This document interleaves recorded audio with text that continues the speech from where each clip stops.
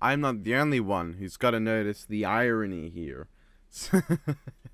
Death Battle had their episode taken down because they were using footage from I don't know which one it was. It was either Daniel Fenton or Jake Long, one of the two, who are responsible for having their episode taken down for copyright issues, and now they're taking my parody down for copyright issues.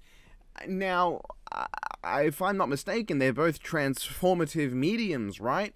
Parody and analysis both fall under the defense of fair use. Now, I mean, technically, it's not fair use yet, because technically, fair use is a defense against this shit, but. I'm not the only one who's got to see the fucking irony here. I mean, shh, I.